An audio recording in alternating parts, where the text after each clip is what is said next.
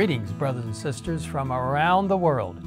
Today, I and my colleagues, Erton Kohler, the Secretary of the General Conference, and Paul Douglas, our World Chief Financial Officer and Treasurer, would like to invite you to attend, either in person or online, the 61st General Conference session being held at the Americas Center Convention Complex in St. Louis, Missouri.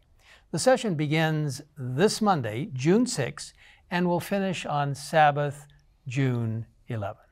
We hope you are being blessed by the 40 days of prayer leading up to the General Conference session and that you will continue to pray as more than 2,000 delegates from around the world will meet together in this very important business session. The session is the largest, most representative business meeting of the Seventh day Adventist Church, and yet it's so much more. It's a time together as a worldwide family to worship, pray, plan, and fellowship together. When the first General Conference session was held in May 1863, 20 delegates met in a small wooden church in Battle Creek, Michigan. The delegates represented a few thousand Sabbath keeping Advent believers, mainly from the Northeast and Midwestern regions of the United States. Today, we are a worldwide family of more than 21 million members, spread across 200 plus countries.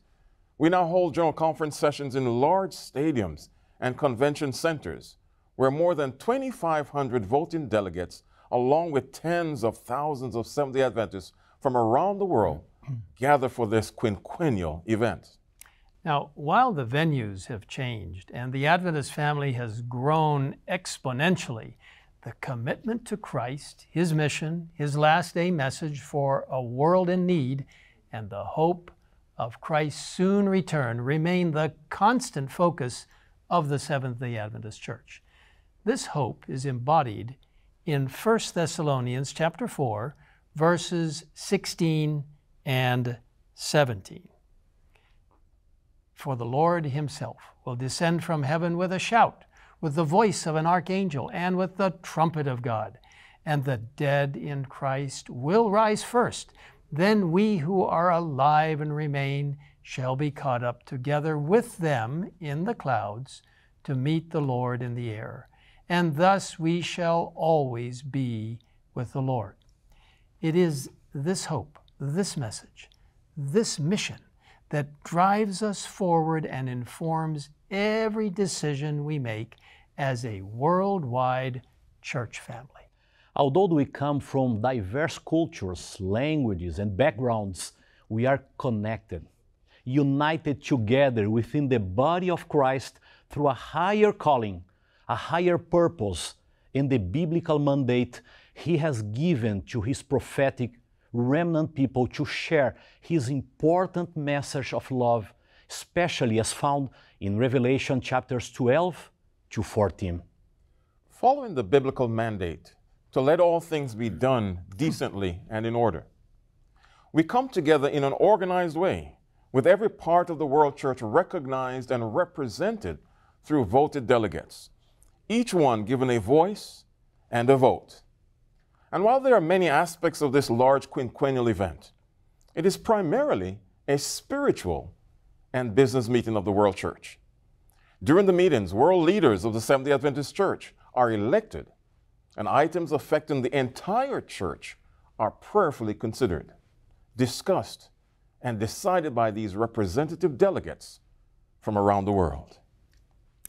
During the 61st General Conference session, we invite you whether you will be joining us in person in St. Louis or online to pray together for God's leading in a marvelous way as we move together in planning for His mission and in carrying out His business at this session. We can be assured that we have nothing to fear for the future, except as we shall forget the way the Lord has led us and His teaching in our past history. Since this will be a hybrid General Conference session, some of the delegates will be attending through electronic platforms such as Zoom.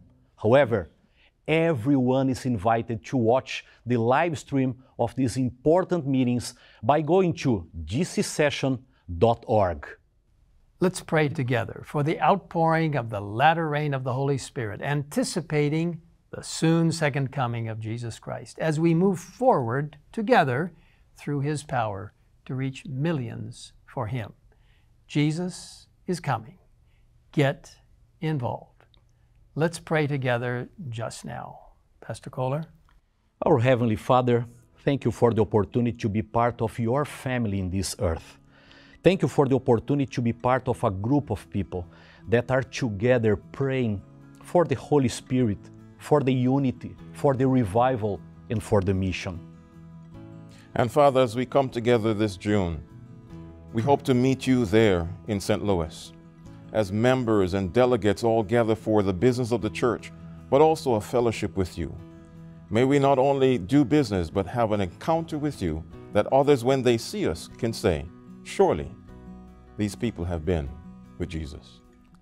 Lord, we invite you to be present with us through the Holy Spirit in the General Conference session in St. Louis, and yes, with your people around this globe, as we recognize that time is short and that Jesus' return is imminent, and that all of us must be involved in your work.